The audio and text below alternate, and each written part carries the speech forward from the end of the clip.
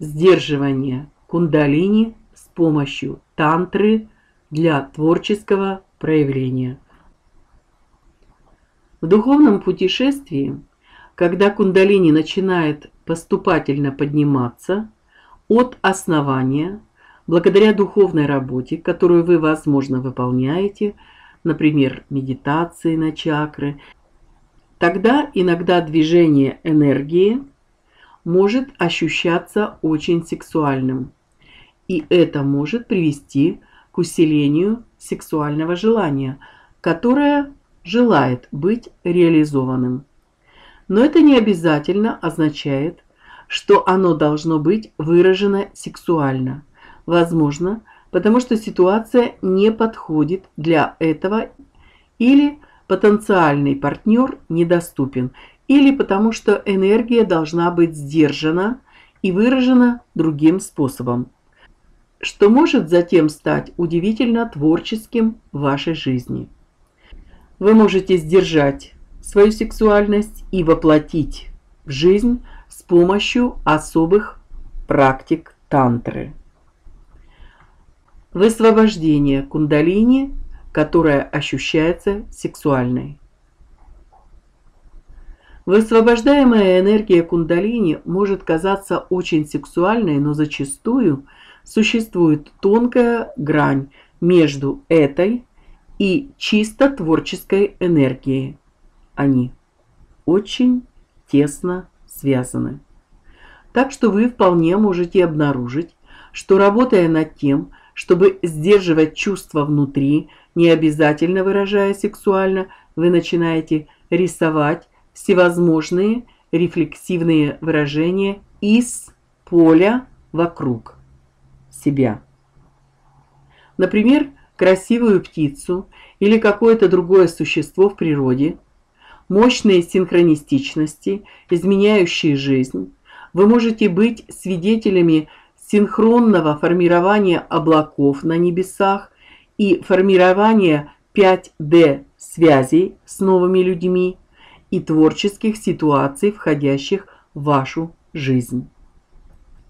Одним из важных аспектов активации кундалини и ее сдерживания является то, что вы, скорее всего, начнете видеть вокруг себя многочисленные отражения вашего близнецового пламени подходе Опенланд близнецовое пламя не воплощается физически. Скорее, это другая полярность души, которая обретает форму около источника, так как душа начинает течь в форму, когда она воплощается. Таким образом, в этот момент душа условно делится на две части. Одна часть, близнецовое пламя, остается близко к источнику, а другая воплощается.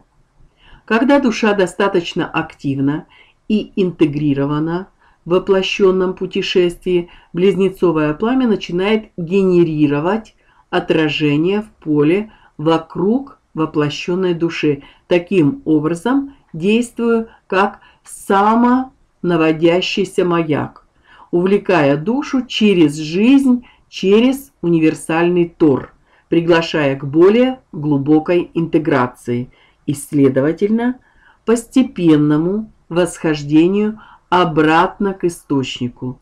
Внутреннее путешествие, которое отражается во внешнем мире. Вопрос в том, как овладеть этим движением, когда оно может ощущаться в основном сексуальным, но сексуальные побуждения не обязательно должны быть взаимными или нет необходимых условий для полного сексуального выражения. Краткое описание практики тантры. Именно здесь практика тантры становится существенной. Что для меня, по сути, выходит за пределы физического опыта, проникая через него с осознанием и полностью возвращая выраженную энергию внутрь себя.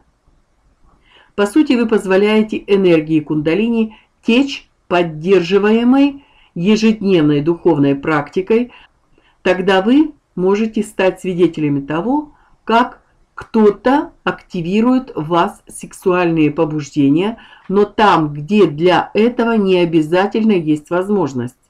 Тем не менее, вы можете позволить чувствам течь, но быть ясным, чтобы вернуть цикл энергии внутрь себя. Как это сделать? Это распознавание того, что любое сексуальное удовлетворение, например, оргазм, порождается ощущением полноты, которое происходит внутри вас. Это похоже на то, как если бы реализованный аспект вас встречался и соединялся с нереализованным аспектом прямо у источника, у вас по сути. Происходит процесс объединения с вашим близнецовым пламенем. Вот почему это может казаться таким прекрасным. Но вы должны практиковать возвращение энергии внутрь, а не привязываться к внешнему объекту. Вы позволяете ей течь, выражая свое желание, но работая над тем, чтобы оставаться полностью присутствующим и возвращая энергию обратно к вам в цикл. Вы буквально чувствуете воплощение энергии внутри себя. Это можно практиковать в реальной сексуальной близости с партнером или путем самоудовлетворения. Будьте внимательны во время освобождения, чтобы довести цикл сознания к полноте источника внутри. Но, как я уже сказал, эта тантрическая практика не ограничивается только сексуальной близостью.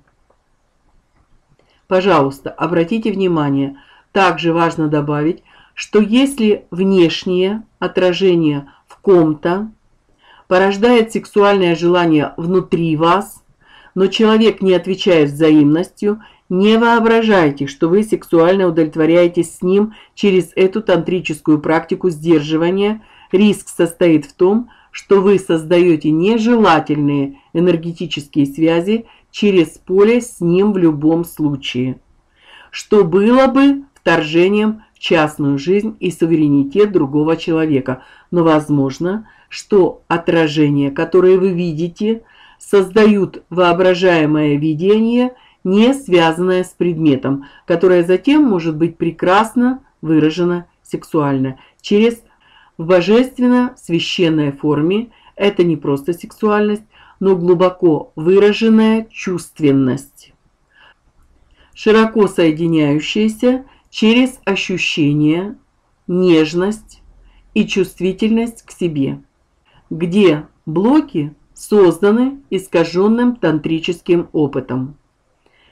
Эта форма тантры очень развита, и движение энергии, вероятно, выявит внутренние блоки, такие как, например, в крестце, где нереализованная душа может быть привязана во взаимоотношениях. Если вы замечаете, что это происходит, важно закрепить свои практики, настройки чакр, но также быть ясными и работать в повседневной жизни там, где может возникать привязанность.